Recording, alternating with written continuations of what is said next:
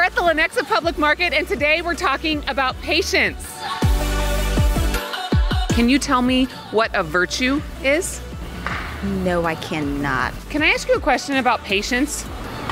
Patient? Yes. As in, like, you're a doctor? As in, hurry up and answer my question. Can you think of a time when someone was really patient with you? Uh, my grandma used to go on walks with me, and when I was like really little, and I kept putting words together, trying to make up new words, and she was really patient no matter how many times I said something that didn't exist. What makes you lose your patience? Let's see, people who don't use blinkers. Shout out my YouTube channel. Go subscribe to. Here I am, waiting patiently for the Lenexa Aquatic Center to open. Is that what that building's gonna be? Aquatic Center? It is so great to see you uh, on this amazing day, and also a welcome to all those you watching online. Uh, we have Brennan today from Keesler Air Force Base in Mississippi. Let's give it up for Brennan. And also say to you, Brennan, thank you for your service. And also want to thank those of you who've come to the 1230 service. You've done an amazing thing in freeing up seats for people who've come to all the other services that have been just filled to the brim. And so we're just so grateful that you've done that, and we're just praying God's extra blessing on you. We've been on a journey as a church that we simply call Believe. And the idea is that um, we've been exploring these 30 big ideas found in the Bible. And the notion is that if you not only understand these gargantuan ideas in your head, but you let them sink deep into your heart and actually believe them, that they'll begin to shape and form you into the kind of person God always envisioned you becoming when He created you. Today, we come to one of these big ideas. It's a virtue, and it's called patience. Patience. Bottom line is, God has a vision that you would become a patient person. But I don't know if you're like me. I mean, um, th- th- see, see if you agree with me. I think the virtue of patience would be a lot easier to develop in our life if it weren't for other people. But in fact, turn to your neighbor and say, Other people try my patience. Go ahead and do that. Other people just try my patience. Other people just try my patience. They do. Not you particularly, but other people try my patience. I mean, it's true. Other people, and some of them do it unintentionally, some of them do it intentionally. They just know what buttons to push, right? Uh, take uh, little Timmy. It was, it was his fifth birthday, and he was pretty excited and filled with joy about the number of presents that he had to open. And he was particularly excited and saved for last the biggest gift, the gift from his grandmother. Wow, he exclaimed when he opened it, setting his eyes on a brand new mini drum set. Grandma, I have always wanted one of these. Later, after Timothy went to bed, Timothy's mother got together with her mother, Grandma, and said, Mom, I'm really surprised that you gave Timothy a drum set for his birthday. Don't you remember how that used to drive you crazy when we played the drums when we were growing up? And the grandma smiled and says, I remember. yes, I remember. It is payback time. Um, the, um, the Bible teaches us, 1 Corinthians chapter 13, actually in a number of places, that one of the best ways that you can love somebody else is to show them patience. Show them patience. Offer them patience for their weaknesses, for their mistakes, for their shortcomings. And when you do this, it's one thing to say to people that you love them, it's another thing to show them you love them by offering them patience. We say this often, don't we? Our actions speak louder than our words. Can I get an amen?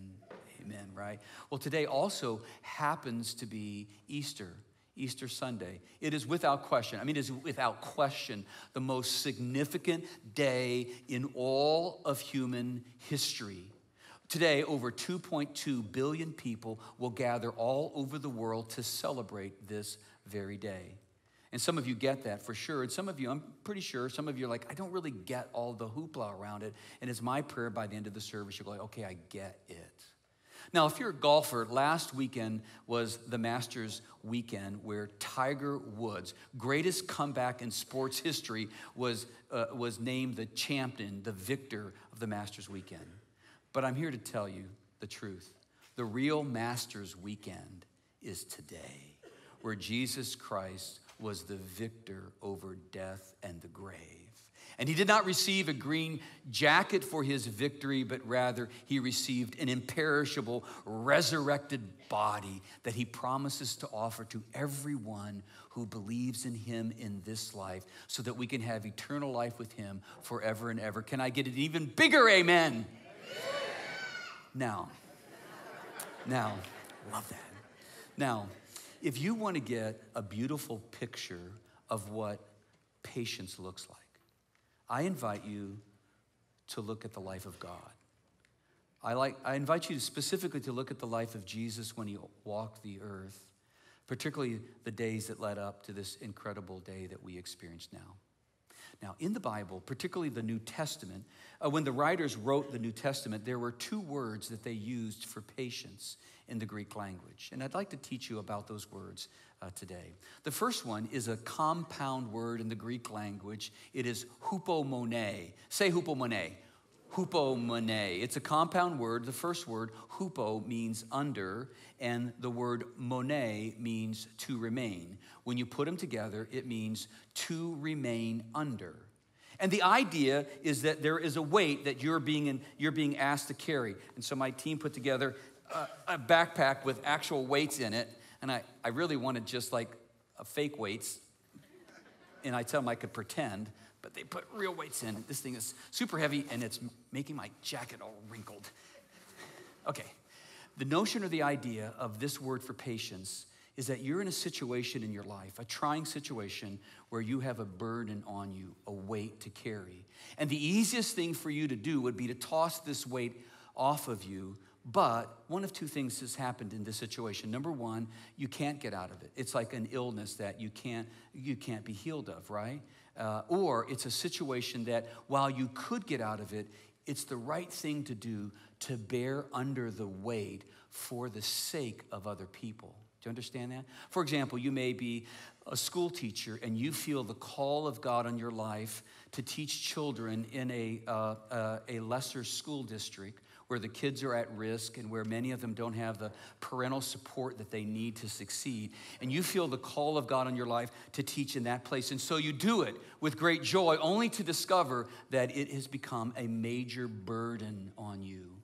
And the easiest thing for you to do was to take the burden off of your back and go to the easier school district. But because of the call of God in your life, you choose to bear up under the weight and be patient with the students that you're working with, trying to give them a chance of life. You're doing it for their sake. Does that make sense? Or maybe it's a friend, like a friend of mine, a number of years ago, he's, he owns his own company, and a number of years ago, his CFO was embezzling money from his company and cheating clients. The CFO was eventually caught and sent to prison, but all the debt was in my friend's name. The easiest thing for him to do with this burden, awful burden that was put on him, would be to toss it off and to file for bankruptcy. But he felt the call of God in his life that he should make it right and that he should pay back all of his debtors. And over a period of 10 long years, he remained under the weight of all of it for the sake of the debtors. Or maybe it's a marriage. Maybe in this particular case, um, it's your husband and he's been diagnosed with a mental illness, which explains all of the trying situations that you've had in the years to past. Now you have a label for it and you recognize it's not something he chose, it's a, a burden that he's bearing. And the easiest thing for you to do is to get out from underneath the weight of this by filing for divorce. But because you remember the covenantal vows that you made for better, for worse, in sickness and in health, you know that the right thing to do is to bear up under the weight of the pressure and to be patient for the sake of your husband. Does it make sense? This is what Jesus did for us. I want to introduce you to a passage that many of you may not have seen in Hebrews chapter 12 and verse 2.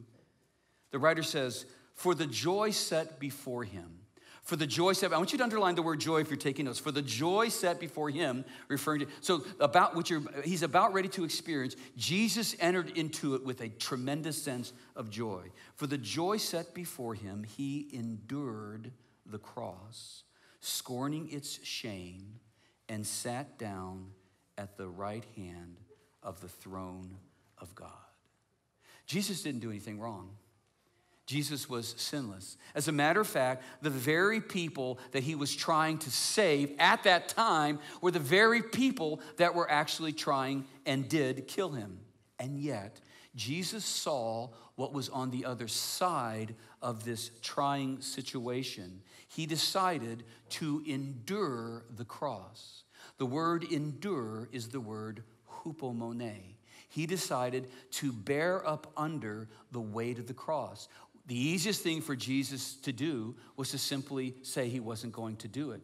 But he saw what was going to happen on the other side. If he endured the cross, he and only he could provide the only way for all humanity, if they wanted it, to receive the forgiveness of sins once for all. And so he chose with great joy to bear up under the weight and the pressure of the cross for our sakes. And not only that, but he also knew and saw on the other side that the Holy Spirit, three days later, would raise him from the dead, and once again, he would be sitting at the right hand of the Father. If you're taking notes, write this down. Jesus remained under the pressure of the cross because he knew what it meant for us on the other side. Does that make sense, church? Good, because I can now take this thing off of me.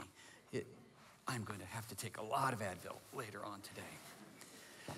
Now, the second word for patience in the New Testament is also a compound word in the Greek language. The word is macrothumeo. Say macrothumeo. Ready?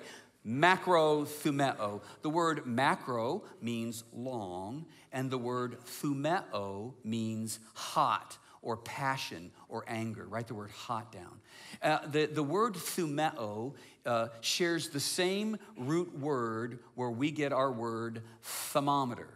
Thumeo, thermometer. And the idea is that when you're in a trying or difficult situation that is testing your patience, that we stick this spiritual thermometer in your mouth and we look how long does it take you to get hot? How long does it take you to get heated up and bent out of shape? Does make sense? So if you're writing notes, write this down. Uh, patience means, macrothumeo means take a long time to get hot or to get angry or to get bent out of shape. Now, Rozanne and I have been married for 38 years. And by all good intents and purposes, it looks like we're going to make it to the end married together. As a matter of fact, I will tell you that uh, Rozanne and I, and I just, I'm not bragging, I'm just telling you the truth. Rozanne and I have a great marriage. Ask her when I'm not around, see if she says the same thing. Uh, and I really do. And, and the reason is, is, it's not just a surviving marriage, it is a thriving marriage. And if you're going to have a thriving marriage, at some point, you're going to have to learn not to pick on each other. At some point, you're going to have to learn not to nitpick on every possible thing. At some point, you're going to have to realize whenever you see a weakness or a shortfall, you can't speak up every single. Sometimes you have to speak up, but not every single time. At some point, you're going to have to accept the whole package of the person you married. That whole package means that they have some strengths, but they also have corresponding weaknesses. You love and you celebrate the strengths, and then you compliment the weaknesses. You do not badger them. Does that make sense? And Rozanne and I have learned this in all but one area. And it's when we're driving.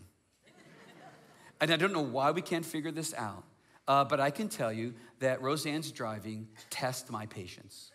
For example, Rozanne always drives slow.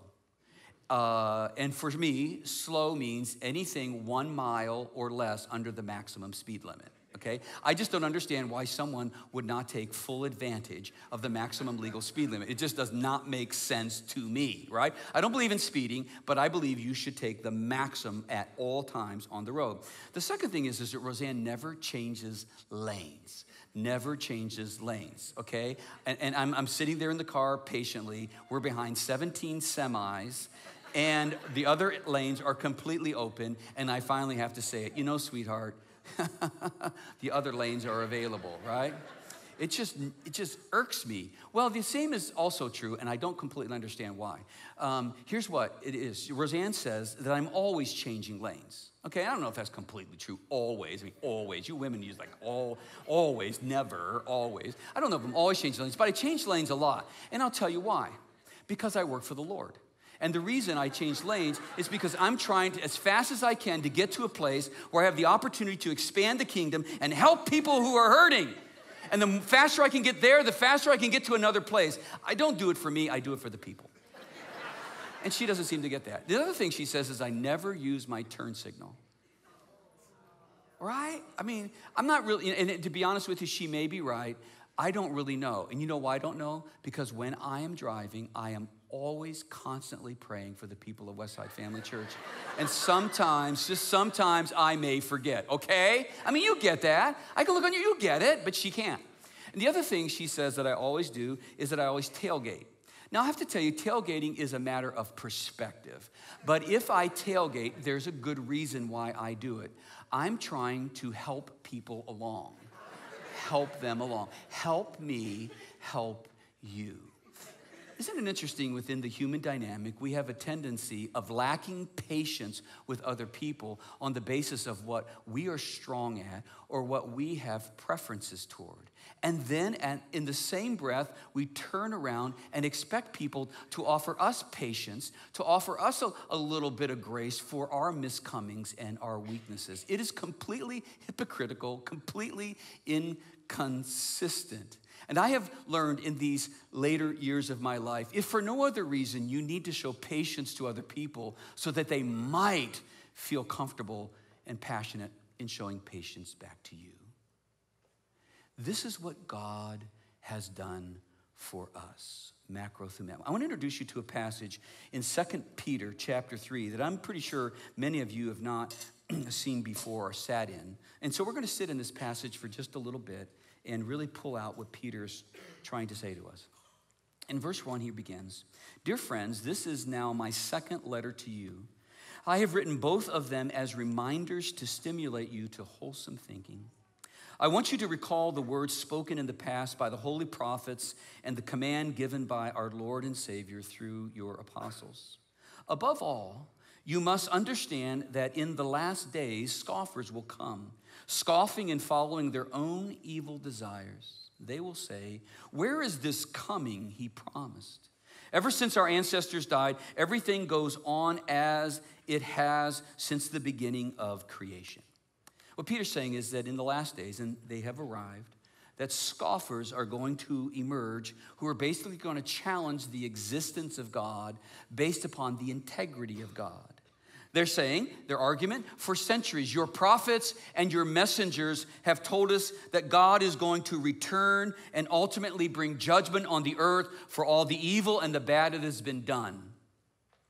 And they laugh and say, We have been waiting for centuries Centuries have come and gone, and your God hasn't lifted his finger. It's all hogwash. So Peter goes on to say, But they deliberately forget that long ago, by God's word, the heavens came into being, and the earth was formed out of water and by water. By these waters also, the world of that time was deluged and destroyed. By the same word, the present heavens and earth are reserved for fire, being kept for the day of judgment and destruction of the ungodly. Now, that's pretty intense for an Easter passage of scripture, but it's really important. Peter's saying to these scoffers, there's two things you need to keep in mind. Number one, you have forgotten that God has brought universal judgment at one time in the past through the flood, the deluge, the story of a guy named Noah. The earth was destroyed by water. God judged the evil. And God then promised, if you know the story, He promised that He would never do that again. That's why we have the rainbow. He would never do that again. That is, He would never destroy the earth again by water. The second thing Peter says you need to keep in mind there is a second judgment coming where Christ is going to return, and this time He's going to judge the earth, not by water, but this time by fire. This is what the Bible teaches. The resurrected Jesus is right now sitting at the right hand of the Father. And at just the right time, God the Father is going to send his Son to the earth to judge the earth and all who are in it.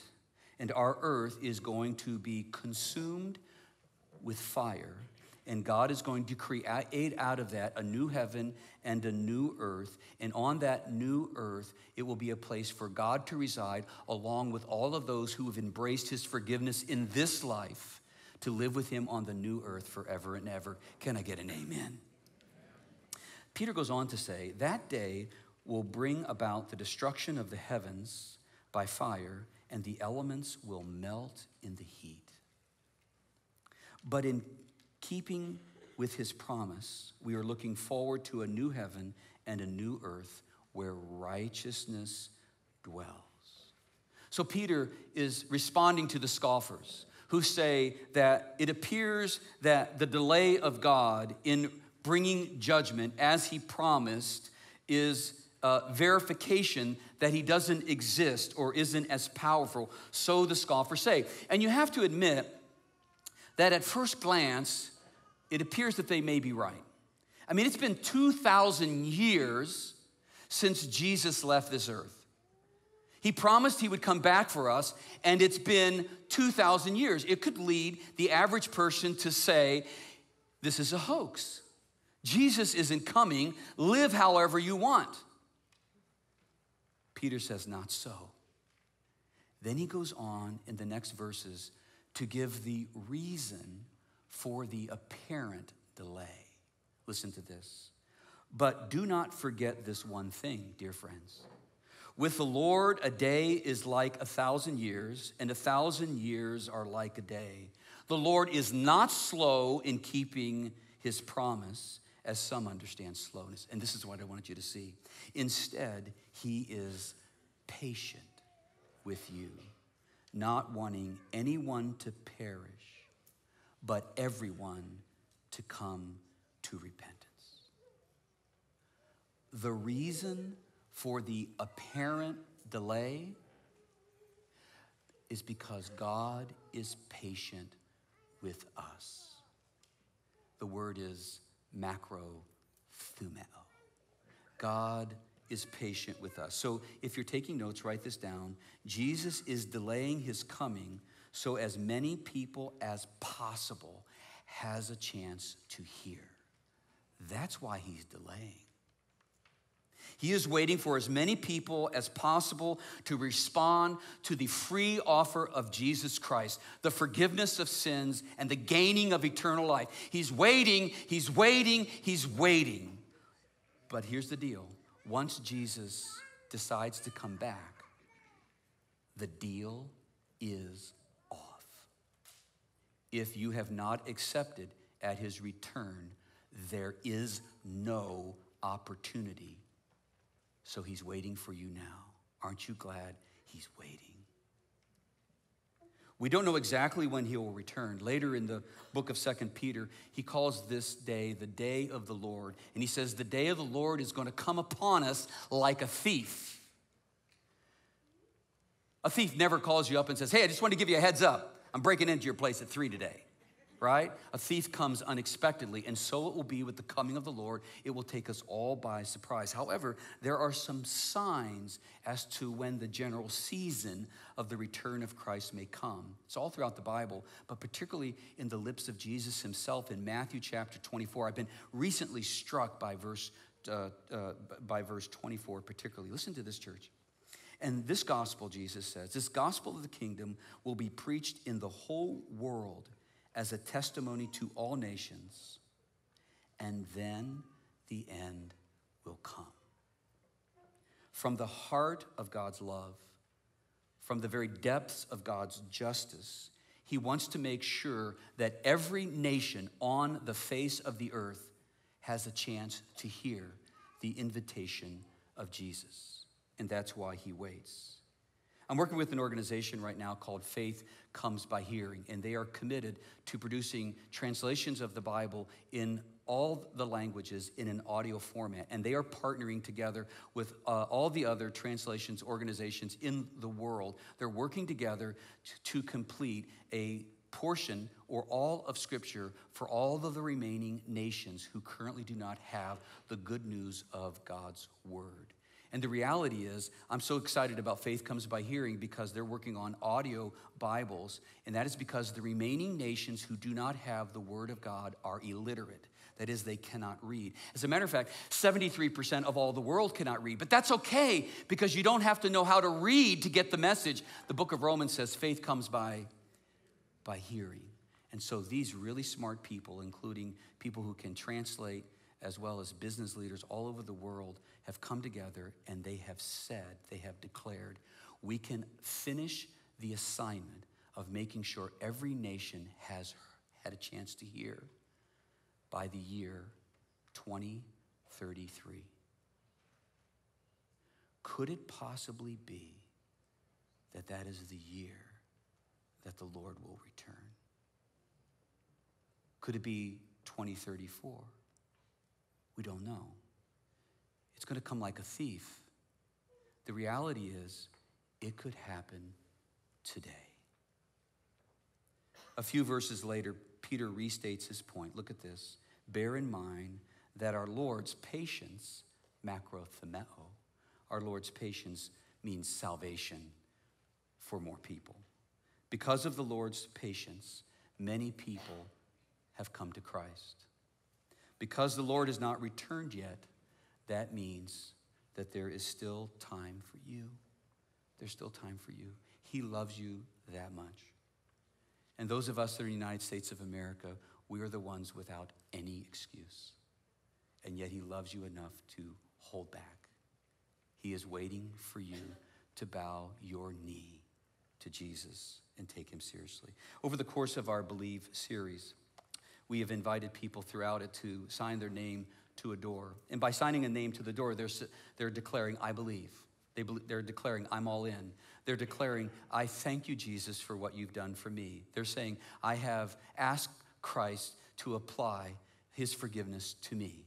And we've had many people sign many doors over the course of these many weeks. As a matter of fact, even on Friday, uh, during the Friday, uh, Good Friday uh, experience here at Westside, many people walked through the stations of the cross. Over a thousand people did. And at the end of the experience, they were invited to sign a door. Again, saying, Thank you, Jesus, for what you've done for me. I'm all in. I believe. I'm placing my name here to declare that I want to receive uh, your forgiveness and to receive eternal life. As a matter of fact, on Friday, my wife, Rozanne, and her friend Amanda, who lead our deaf ministry here at the church, my wife is fluent in sign language, hosted 15 deaf people here. And at the end of the journey, a new uh, man that came, they asked him as he signed the door, When did it first dawn on you that Jesus did this for you?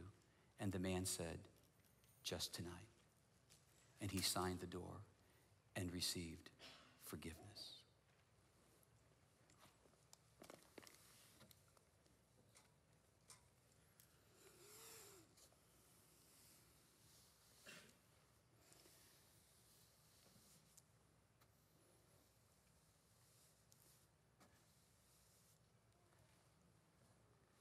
There is not a name on any door that hasn't been covered by the blood of Christ.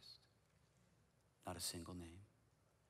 Not a single name that hasn't received the forgiveness of God when they asked for it. When you came in in your program, you received a door. I want you to pull it out. Everybody needs to pull this door out right now. It looks like this. And I want to give you a chance right now in this service to write your name on the door. And by writing your name on the door, you are basically saying, I believe. You're basically saying, I'm all in. You're basically saying, Thank you, Jesus, for what you've done for me. You're basically saying, I am asking God to apply the blood of Christ to my sins so that I can be forgiven. For some of you, you're writing your name down. This is merely an affirmation of something you've done before. It's an affirmation. But for some of you, it will be an initiation into a relationship with God. It's the first time it's really dawned on you, and you're writing your name down. And if you're the first time you've done this, I just want you to whisper a prayer to God. It begins with saying to God, God, I confess that I am a sinner and that I'm in need of salvation. I'm in need of a Savior. Number two, whisper to God, God, I believe I believe that Jesus Christ is the Son of God who died and rose again on the third day. And the last one is the most important. And God, I am asking, I am begging of you to forgive me of my sins and grant me eternal life through the work of your Son on the cross. The work of the Son on the cross. So if, if you're in, write your name down. And then what I want you to do is I want you to hold the card up like this, just like I'm doing. Just hold it up, and I want you to look at it, okay? Just hold the card up like this. Okay? Now look at the card. I want to show you what Jesus Christ has done for you.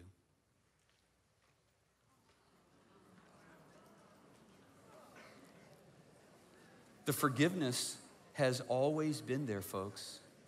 God has just been patiently waiting for you to ask for it. If you didn't put your name on the card, if you're not there yet, you're questioning, you still have uh, uh, doubts, you're still holding out, that's okay. God is still, at this moment, patiently waiting for you. But I would not be truthful if I did not tell you that your time, in fact, is running out. We are in the last days, and one of two things is going to happen. You're either going to die, or Christ is going to return unexpectedly. And when that happens, the deal will be off. And I beg, I invite you, I beg that you would talk to one of us after the service. Let this be the day that you bow your knee to Jesus and see the words forgiven written across your name. And all of God's people said, Amen. Um, in all of our services, people have committed to publicly confess their allegiance to Jesus Christ. There are going to be people from all of our services and all of our campuses uh, out in the connections area are going to be doing that, the commons. But we've selected a couple to be baptized in the service and give them a chance to tell their story. Uh, the reason they're doing this is because uh, Jesus asked them to do it. He's saying, anybody who has received the forgiveness of sins into your life, into your heart, I'm asking you, for me, I'm asking you to go public and tell people you're not ashamed of me. I want you to be baptized. So that's why these people are doing it. And the idea is that when they're, when they're put in, down into the water, it symbolizes that their old life is over, their old life is gone. They are dead to their sins. And when they come out of the water, it represents new life, a new beginning, a new journey. And it also represents the resurrection that they will one day receive as Christ received when he rose again from the dead. Now, the Bible tells us that whenever um, someone gets baptized, that the angels in heaven are surrounding the throne of God and they don't understand the concept of redemption. They have not needed to be redeemed. So it just blows their mind that God takes somebody so far from Him and redeems them. And it says, whenever someone comes out of the water, the angels in heaven around the throne of God just cheer, clap, and go crazy. So I'm going to invite you, when these folks come out of the water, that you join with the angels in celebrating what God has done today to redeem them. Father, we now come to you. We're so grateful that you have been patient with us. And Father, today on this Easter Sunday, we are so very, very grateful. And now, Father, we celebrate the lives of those who are going public for you today. We celebrate with them as the angels in heaven do as well. In the name of Jesus.